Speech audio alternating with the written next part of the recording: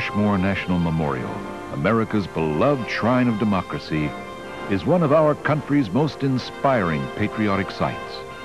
But it's actually far more than that. It's a personification in stone of basic American ideals. In addition, the story of its creation affords a superb example of artistic drive on a colossal scale. And far from least, it's the focal point for visitors to a major vacation land, the Black Hills of South Dakota.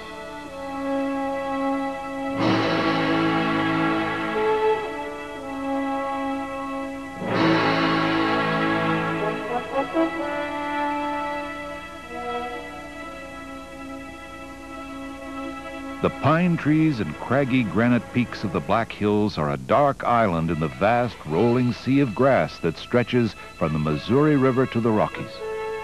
These mountains were thrust up by geologic action over millions of years and in the process became laced with hidden precious metals.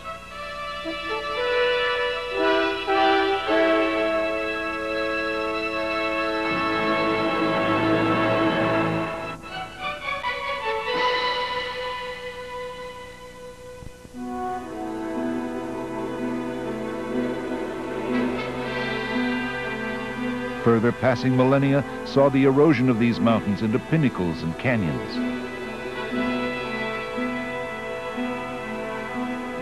From a distance, rising above the almost featureless prairie, these hills and their deep green forests look black indeed.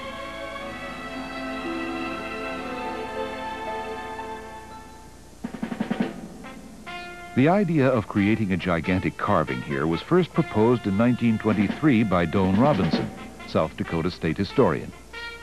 He invited Gutzon Borglum, a prominent American sculptor, to the Black Hills.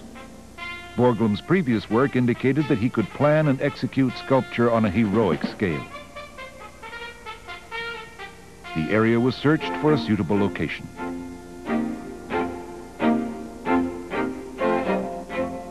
Originally, Robinson had envisioned a memorial to some of America's notable Western figures, Lewis and Clark perhaps, and John C. Fremont. It would be a fitting tribute, and it would also attract visitors and aid the state's economy. But Borglum believed the proposed monument should be of national, not regional significance, and suggested the lists of several presidents. At last, the sculptor found the place he was looking for.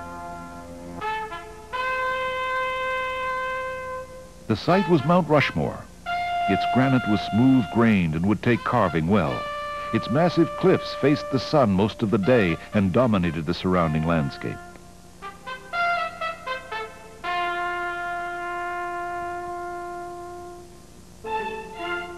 On October 1st, 1925, with a crowd of 3,000 onlookers gathered at the base of the mountain, the sculptor planted a dedicatory American flag on its summit. Four presidents were finally chosen the carving. George Washington, Thomas Jefferson, Abraham Lincoln, and Theodore Roosevelt. On August 10, 1927, President Calvin Coolidge came to dedicate Mount Rushmore National Memorial. He presented Borglum with a set of drills, and drilling began on Washington's face the same day. Conventional techniques of sculpture wouldn't work here. This was the pioneering art of mountain carving, and Borglum was forced to devise new techniques. After the surface rock was carefully blasted away with dynamite, men in slings scrambled across the new surface to chip off excess granite with jackhammers and additional explosives. Here, Washington's nose begins to take shape.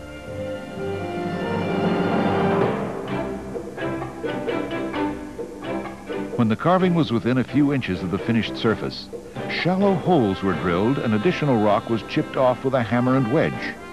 This accomplished the final shaping. The surface was then smoothed with small air hammers.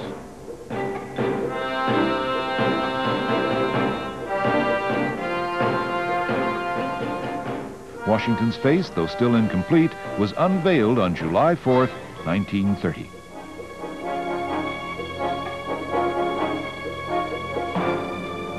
Borglum, with his son Lincoln working his way up to supervisor, oversaw the entire project.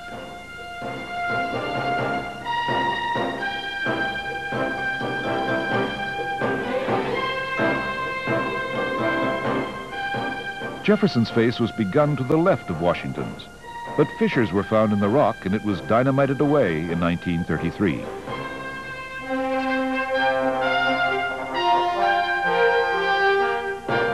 The carving followed Borglum's 20-foot model, with each measurement enlarged 12 times and then transferred to the mountain. Nine changes in the positions of the figures were required as unexpected weaknesses were discovered in the rock.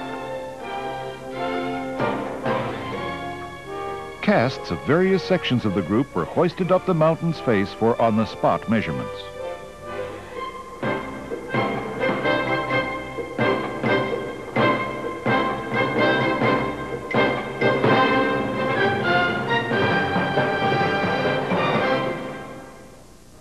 By the summer of 1936, Jefferson's face was ready for dedication, and President Franklin D. Roosevelt officiated.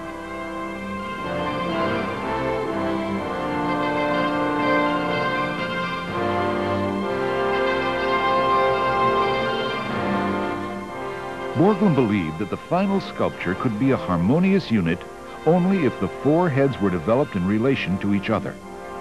Carving, therefore, continued simultaneously on all four. There were still catwalks and cables on the faces in 1941 as the memorial neared its present form. The buildings on top were workshops and storehouses.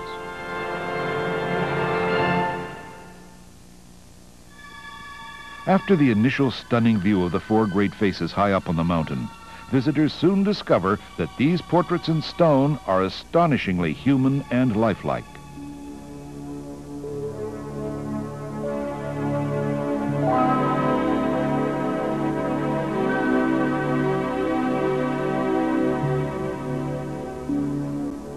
The realism of the expressions is partly due to the 22-inch rock projections carved into each eye, providing a natural highlight or sparkle when viewed from a distance.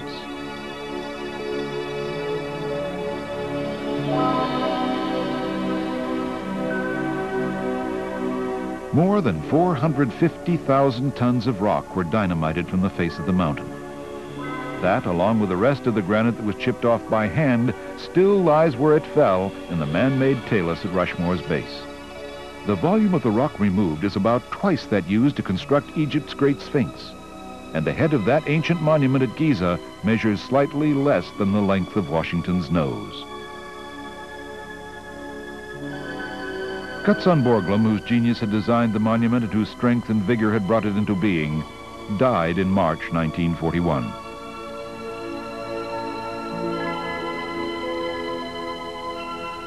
Lincoln Borglum continued the work, perfecting details on the Lincoln and Roosevelt faces and starting on Washington's coat collar. But in 1941, national defense had high priority. Funds for the monument ran out, and work came to an end in October of that year. No further carving has been done since that time, and no more is planned.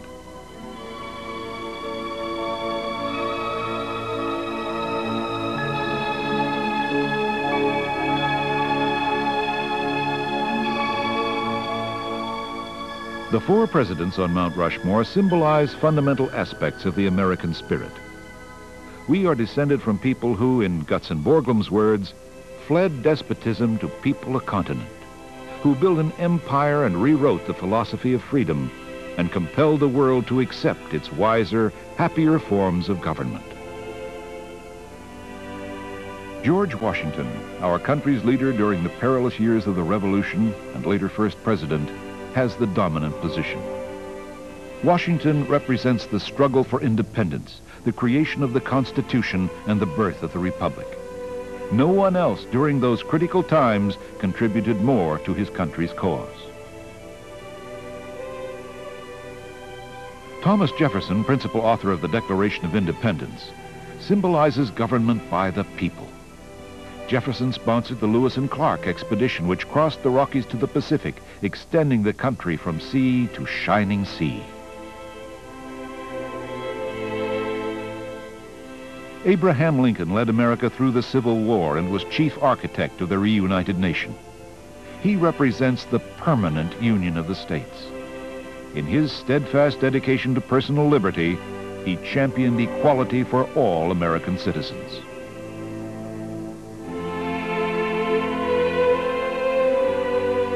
Theodore Roosevelt, an Easterner who loved the West, symbolizes the bonds that link our country together. TR, a vigorous personality and a dynamic speaker, represents the rise of the United States to prominence in world affairs.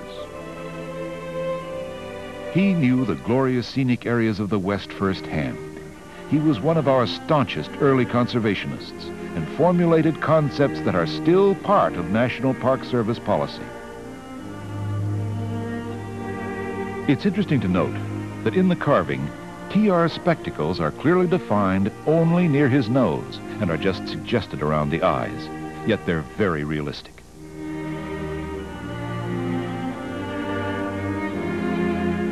Over 2 million people from every state in the Union and from all over the world visit Mount Rushmore each year.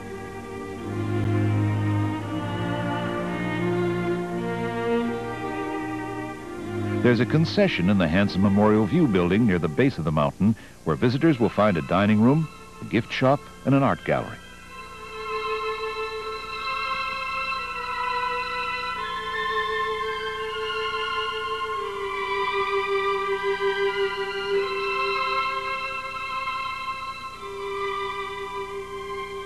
One of Gutzon Borglum's original models for the carving is on display.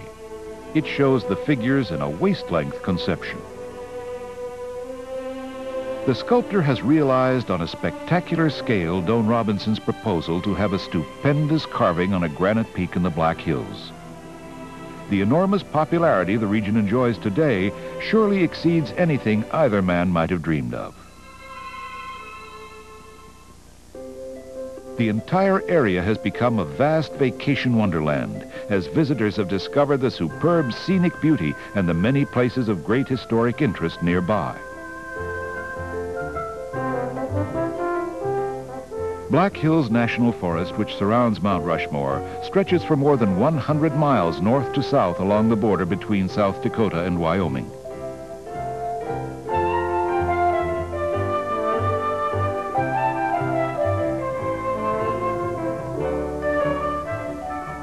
There's a scenic highway here that's famous for its pigtail curves where the road doubles back over itself.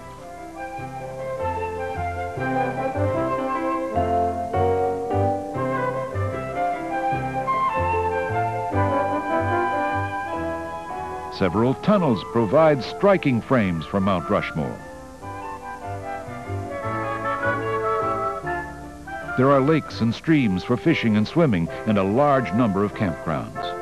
In addition, there's a great variety of entertaining attractions throughout the region. The Hill City 1880 train offers exciting rides between Hill City, a short distance northwest of Mount Rushmore, and the town of Keystone. Passengers in both closed coaches and open observation cars enjoy a two-hour ride through the heart of the mountains and forests of the Black Hills. From mid-June to late August, the authentic old steam train has four departures daily.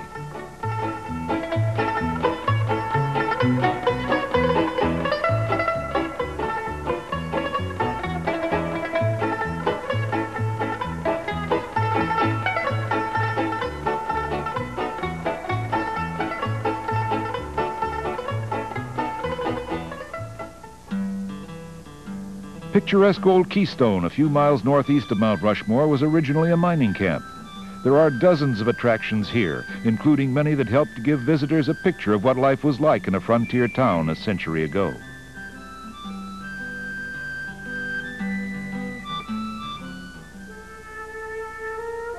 Just south of Mount Rushmore is Custer State Park, one section of which is aptly named the Needles. Scenic Needles Drive, which provides access to the area, passes through two tunnels and reaches elevations over 6,000 feet.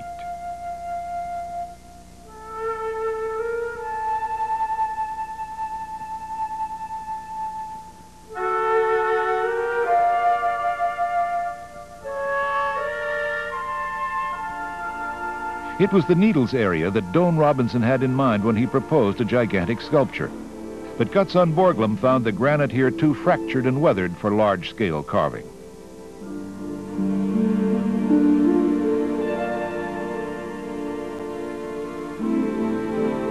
Nature, however, has been carving the rock here for thousands of years. This is the Needle's Eye, a remarkable natural formation directly beside the road.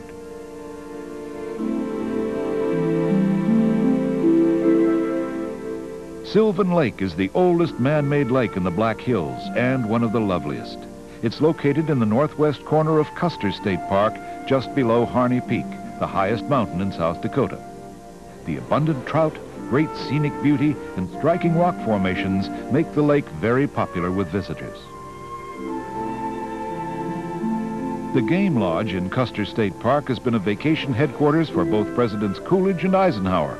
It's a pleasant country inn with rooms, cabins, and a fine dining room.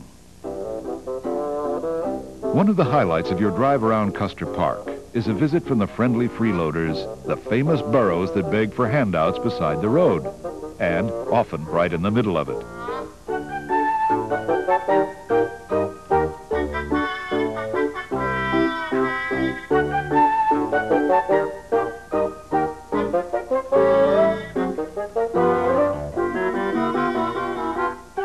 You'll find they aren't shy about making their interests known.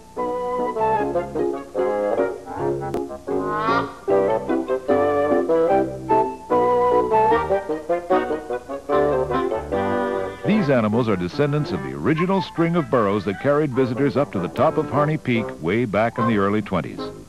They're wild animals now and roam freely here.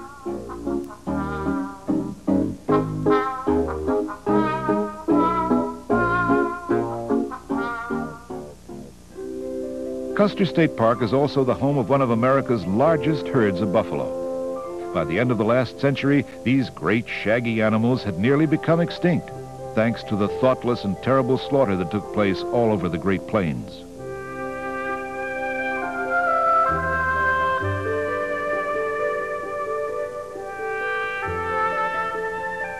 Now, however, through careful management here and in other herds protected by federal and state governments, their numbers have increased.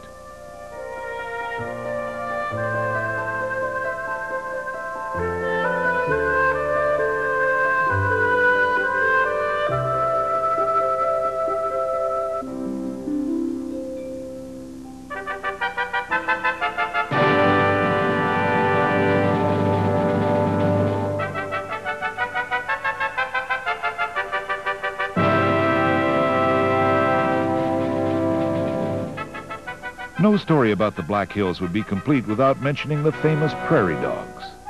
They can be found here in Custer Park and in many other parts of the region. The squeaky cries and charming antics of these little creatures endear them to all visitors.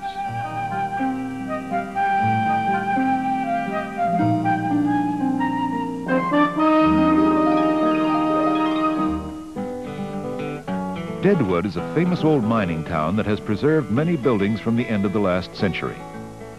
The town sprang up when gold was found here in 1876, and thousands rushed in to wash the yellow dust and nuggets from the gravel of Deadwood Gulch.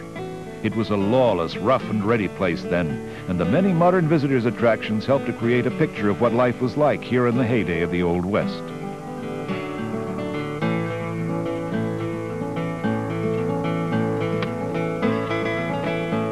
Among the most exciting events in Deadwood is the reenactment of the murder of Wild Bill Hickok in the famous Number 10 Saloon, and the capture and trial of Jack McCall, the man who shot him from behind.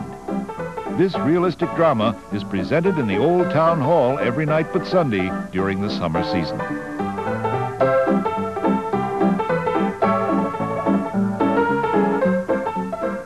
Wild Bill, Calamity Jane, and many other colorful figures from those boisterous days are known to every American schoolchild.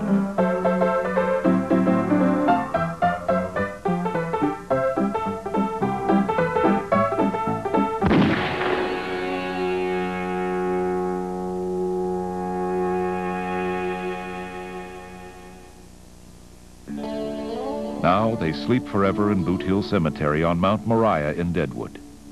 The stones that mark their graves are small monuments, but their names alone are enough to conjure up images of a time and a place that can never be forgotten.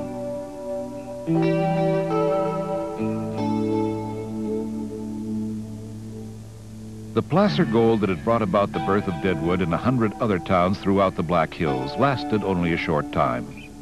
Hard rock mining, a difficult and expensive operation, continued until most of the veins also played out. A few small operations lasted through World War II, and those mine buildings that remain have fallen to ruin. But there is one dramatic exception to gold stories with unhappy endings.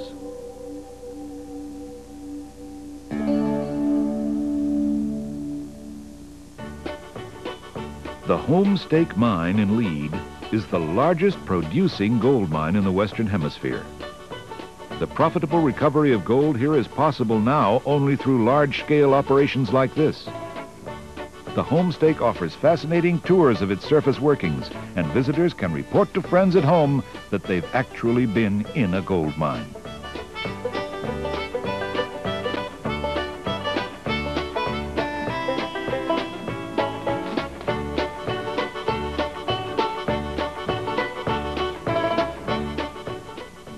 Lead, Deadwood, and Keystone are three of the few towns in the Black Hills that survived the gold rush and have been able to preserve with pride their heritage from frontier days.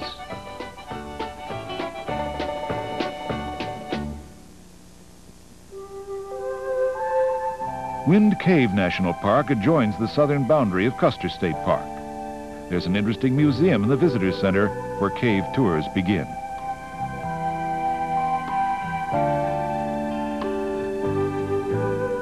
Cave was named for the breeze that blows through the entrance, blowing out when the atmospheric pressure outside is lower than that inside, and blowing in when the pressures are the reverse.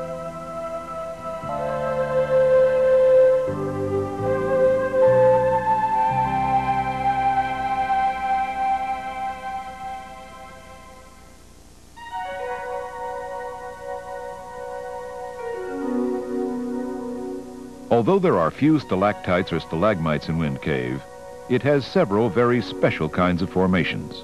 One is popcorn, a knobby white encrustation formed by the evaporation of mineral-laden water after it has seeped through tiny pores in the surrounding limestone.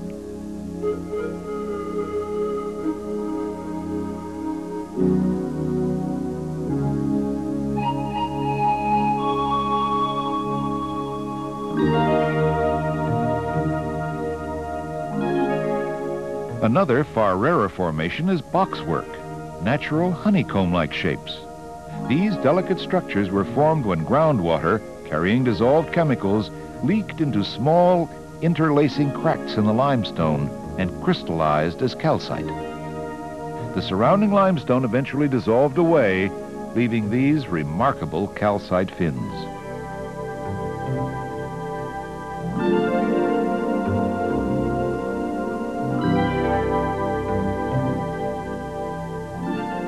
Geologically, Wind Cave is one of the oldest caves in North America. More than 38 miles of passageways have been explored, and there are still many other sections that have not yet been investigated.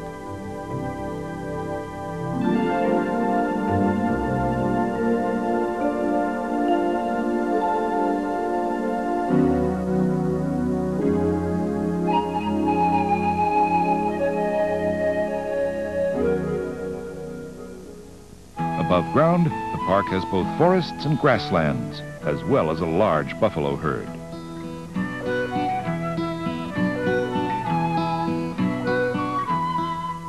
Jewel Cave National Monument is located west of Custer State Park. Interesting geological exhibits are displayed in the fine new visitor center, and several different types of cave tours are offered. Adventurous visitors will enjoy the spelunking tour, for which hard hats and carbide lamps are provided. Many people are surprised to learn that after Mammoth Cave in Kentucky, Jewel is the second longest cave in the United States. There's an abundance of exquisite dog-tooth crystals of calcite on the walls of several chambers. These are Jewel's most famous feature. In 1906, President Theodore Roosevelt proclaimed Devil's Tower as the first national monument in the United States. It's located in the northeast corner of Wyoming at the western edge of the Black Hills region. The tower rises nearly 1,300 feet above a grassy valley. The huge formation originated underground when a great upward bulge of molten rock cooled and hardened and was later exposed as the softer rock around it eroded away.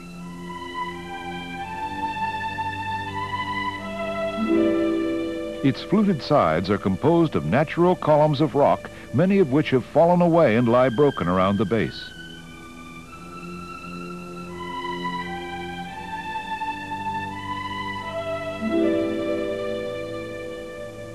The monument includes a museum and a thriving prairie dog town.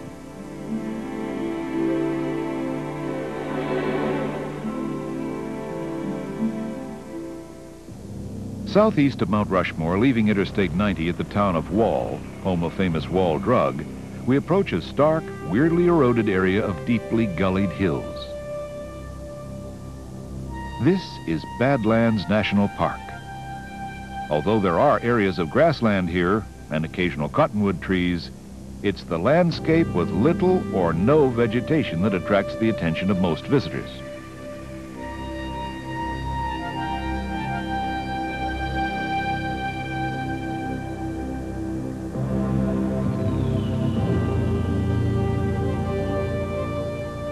Over many thousands of years, these colorful strata of relatively soft rock both sedimentary and volcanic, have been eroded by wind and weather into pinnacles and gullied hills in an endless variety of strange forms.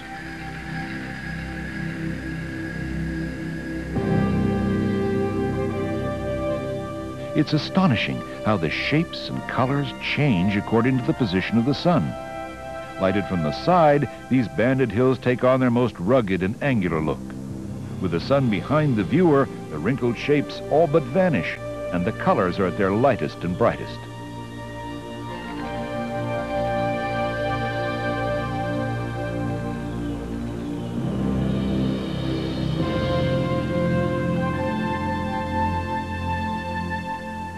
The South Dakota Badlands are the world's richest source of fossils from the Oligocene epoch, from 12 million to 38 million years ago. This was long after the age of the dinosaurs, but superb fossils of long-extinct sea turtles, tiny 20-inch horses, fierce saber-toothed cats, and early ancestors of the rhinoceros and the camel have all been found in the region.